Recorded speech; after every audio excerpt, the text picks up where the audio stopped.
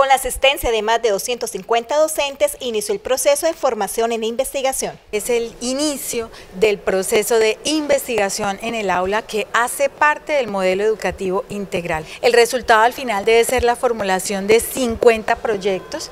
Eh, al terminar este semestre deben estar listos esos 50 proyectos que deben ser desarrollados en el año 2016.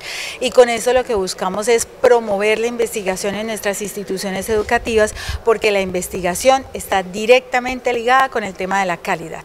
Las líneas de investigación en las cuales los profesores centrarán sus proyectos son didáctica, cómo se enseña un saber, tecnología de información y comunicación aplicadas a la educación, democracia y convivencia ciudadana, pensamiento y formación del maestro. Estas acciones se realizan en el marco de la implementación de la primera fase del modelo educativo integral Barranca Bermeja, ciudad educada para educar.